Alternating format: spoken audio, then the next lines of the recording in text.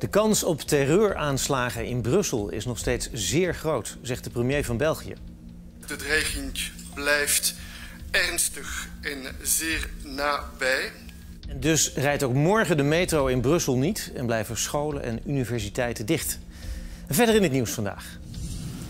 De Krim zit zonder stroom na sabotage van hoogspanningsmasten. En het KNMI zegt code oranje voor het klimaat.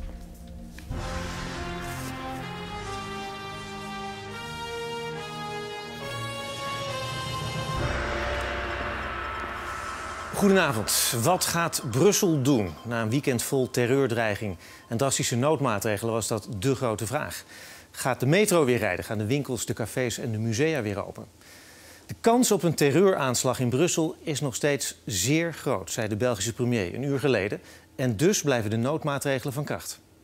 We stellen vast dat de informatie van de laatste uren nog op dit moment op de orde van de dag zijn. Dat betekent dat we uh, vrezen een uh, aanval zoals uh, in Parijs. Dat betekent dat uh, verschillende individu individuen een aanval in Brussel zou lanceren, misschien zelfs op verschillende plaatsen tegelijkertijd. Dus dat is zoals gisteren de dreiging, dat is zoals gisteren de analyse van de situatie. We hebben via onze veiligheidsdiensten indicaties in deze richting.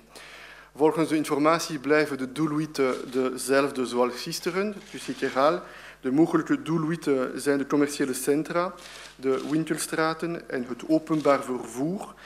En daarom hebben wij opnieuw uh, maatregelen uh, genomen.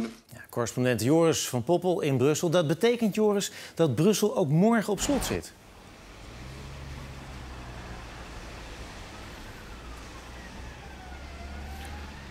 Alle scholen zijn hier morgen weer dicht. Alle metrostations zijn dicht. Bedrijven hebben opgeroepen om vooral thuis te blijven en thuis te werken. Universiteiten zijn dicht. Nog meer politie en nog meer militairen op straat vanaf dit moment al. Brussel is en blijft een belegerde stad. Ja. Er zit iets vertraging op de lijn, maar het lukt. Uh, hoe denken mensen in Brussel die jij spreekt daarover? Hoe lang kan dit doorgaan?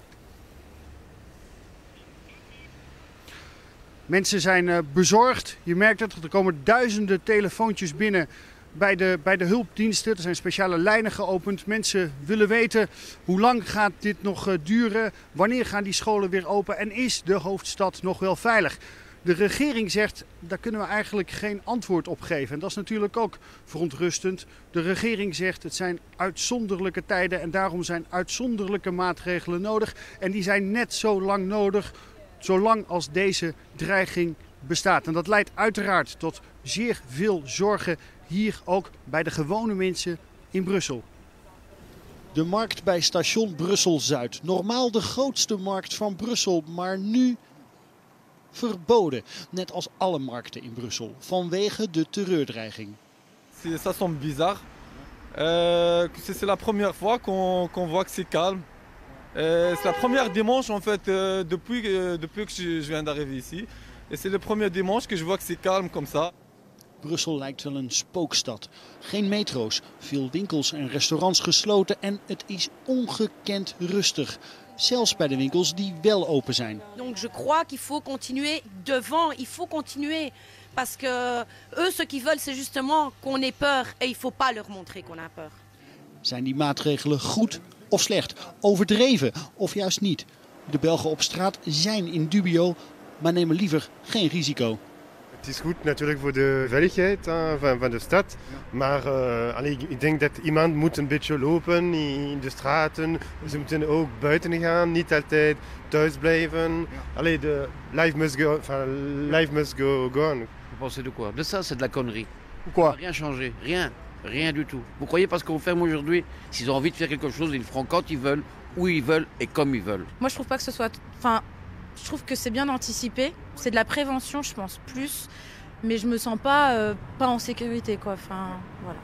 Ja, Brussel overdag, Brussel vanavond. Joris, kern van de vraag is natuurlijk toch... hoe denken de autoriteiten aan die terreurdreiging een einde te maken? Met nog meer militairen en nog meer machtsvertoon. Bijvoorbeeld hier achter me al politie en militairen voor de deur van de wedstraat 16, het torentje van België. Omdat op dit moment hier opnieuw crisisberaad is. De Nationale Veiligheidsraad is opnieuw bijeen. Dat is de top van de regering, de top van justitie, de top van defensie. Omdat de situatie nog steeds zo acuut en zo dringend is. We krijgen net berichten binnen dat bijvoorbeeld op de grote markt mensen is gevraagd om daar allemaal weg te gaan. Mensen is gevraagd om weg te blijven bij de ramen. Dat bij een hotel in de buurt daar de mensen niet meer naar buiten komen. De hotelgasten niet meer naar buiten uh, mogen van het leger dat ook daar voor de deur staat. Dat geeft aan hoe gespannen de situatie is in die klopjacht tegen de klopjacht naar een paar terroristen die plannen zouden hebben, zoals in Parijs, maar dan hier in Brussel. Joris, dankjewel. We houden contact. Ja, en dan een opmerkelijk interview. Leden van de band The Eagles of Death Metal spraken voor het eerst over wat er gebeurde tijdens hun optreden in de Bataclan in Parijs. Ze vertelden dat terroristen ook hun kleedkamer binnendrongen.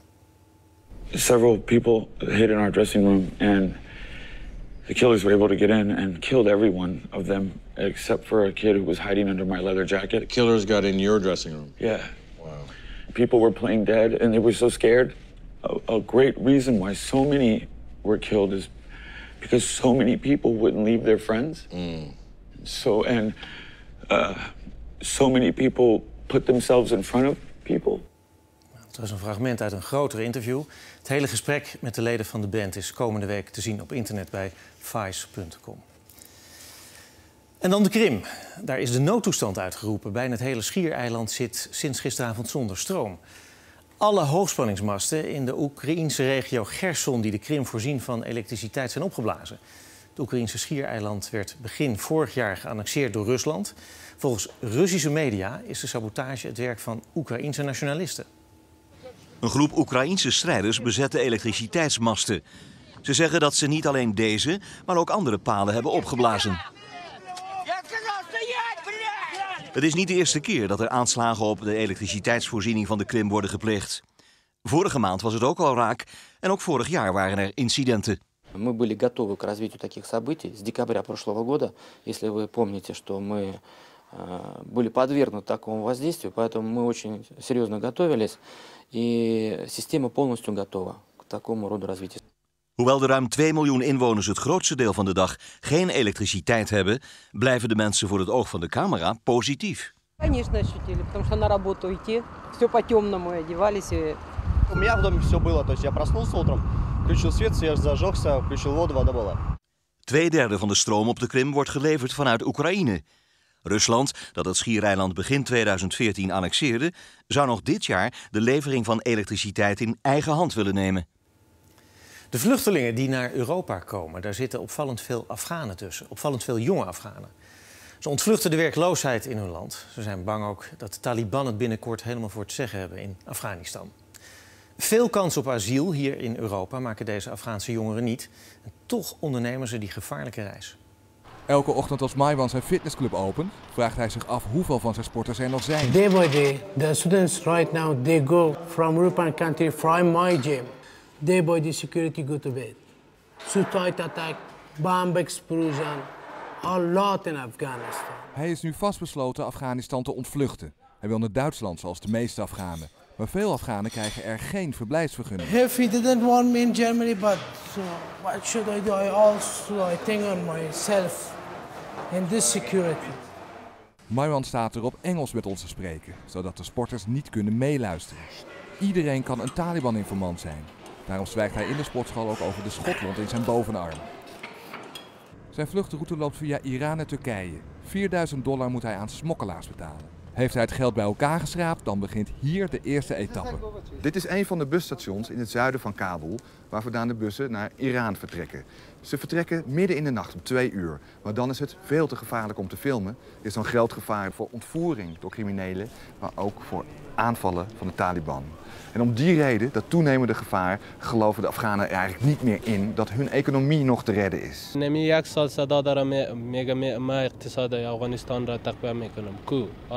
کاروبار بخی گم شده بخی وضعیت افغانستان طرف خرابی میره به غیر از این کار نیست janga asta. En dus vertrekt ook hij vannacht met de bus naar de grens. Oké, okay, slow down. Pas als we weg zijn uit de sportschool wil Maiwan over zijn schotwond vertellen. De Taliban hielden zijn auto aan. Ze zeiden dat hij voor de Amerikanen werkte. driver موتر را تیز کرد که می تیز کرد شلیک شد شلیک شده می شانه ما می اصابت کرد طالبان مرا می‌رفت امکانش بود که مرا بکشن یا مرا اسیر بگیرن.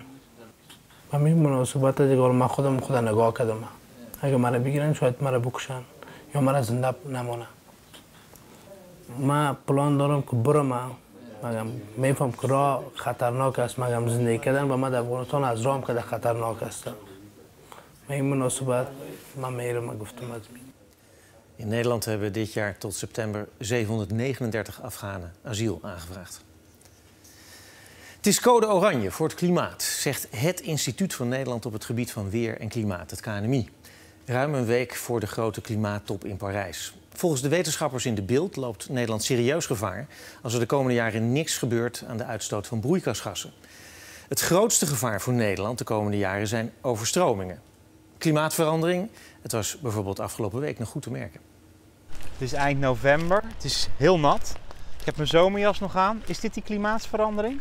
Ja, je kunt zeggen dat wij op dit moment de bewijzen van klimaatverandering voortdurend om ons heen zien. Als je uh, bijvoorbeeld je realiseert hoe warm het was de eerste twee weken van november, dan kunnen we eigenlijk die relatief extreme warmte alleen maar begrijpen als je klimaatverandering aanneemt. Het KNMI ziet dus steeds meer effecten van klimaatverandering in het dagelijkse weerbeeld. Dit is de weerkamer van het KNMI. En heeft ook uitgerekend wat het betekent als de wereld nu geen maatregelen neemt. Wanneer we dus geen enkele maatregel nemen om de CO2-uitstoot te beperken, zie je dat de temperatuur in de zomer 4, 5 graden hoger kan zijn dan we nu gewend zijn. En dat is wel erg veel. Bovendien valt er daardoor ook veel meer neerslag. En dat kan over 50 jaar leiden tot dit soort problemen. Dit is het radionieuws van maandag 30 november. Het waterpeil in de Rijn vlak na Lobit is zo hoog gestegen dat de dijken het water niet meer kunnen tegenhouden. Tegen twee uur vannacht stroomt er water over de dijk, zo wordt verwacht. De evacuatie van een aantal dorpen is in volle gang. Tegelijk blijft het de hele nacht doorregenen. Door de hoge waterstand op de Noordzee, als gevolg van een noordwesterstorm, kan het water niet goed wegstromen naar zee. Daardoor worden ook problemen verwacht in de Randstad. 2065 is nog ver weg, maar volgens het KNMI hebben we nog maar 20 jaar om het tijd te keren. Als we er langer over gaan doen, dan zal de temperatuur nog verder oplopen dan 2, 2,5 graad, wat we nu denken dat min of meer nog uh, handelbaar is. En dan kom je in de gevaarlijke situaties. En vandaar ook dat wij nu spreken van eigenlijk is dit in de aanloop naar de klimaattop een soort code oranje voor het klimaat. De waarschuwing van het KNMI. Neemt niet weg, Peter, dat er vandaag sneeuw was. Zeker. De gemiddelde temperatuur die stijgt in Nederland, gaat nog verder stijgen. Maar dat neemt natuurlijk niet weg dat er ook koude dagen bij zitten. En vandaag was daar een sprekend voorbeeld van met maximum temperaturen van zo'n 5 tot 7 graden. En op veel plaatsen ook winterse buien, zoals hier in het Noord-Groningse Uithuizen met natte sneeuw. En ook op de radar zien we nog steeds buien met soms regen, soms natte sneeuw overtrekken. Op dit moment vooral nog in het noorden en het westen van het land. Nou, vannacht dan neemt die buiigheid snel af, maar die regen en die sneeuw die er nu al gevallen is, die zou wel eens tot uh, gevaarlijke gladheid kunnen leiden, want het gaat op veel plaatsen vriezen. Uh, een graad of 2 tot 4 in het binnenland, aan de kust zo rond het vriespunt. En dat komt allemaal omdat de wind wat wegvalt en het flink gaat opklaren. Dat heeft vanmorgen ook weer positief nieuws. De dag begint dus koud op veel plaatsen rond het vriespunt. Morgenochtend op de fiets handschoenen aan. Maar uiteindelijk met zon en weinig wind wordt het dan een mooie dag met een temperatuur van zo'n 5 tot 7 graden en dus behoorlijk veel zon.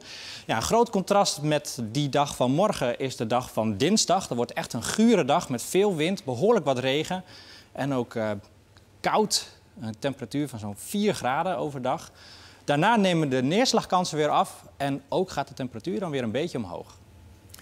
Tot zover dit NOS-journaal met als belangrijkste nieuws. België houdt nog steeds rekening met grote terreuraanslagen in Brussel. Ook morgen rijdt erom de metro niet. En de scholen en universiteiten in Brussel blijven dicht. Meer erover straks natuurlijk in Nieuwsuur. En klimaatvluchtelingen in Bangladesh. De opwarming van de aarde heeft nu al grote gevolgen voor het land. 10 uur, NPO 2. Goedenavond.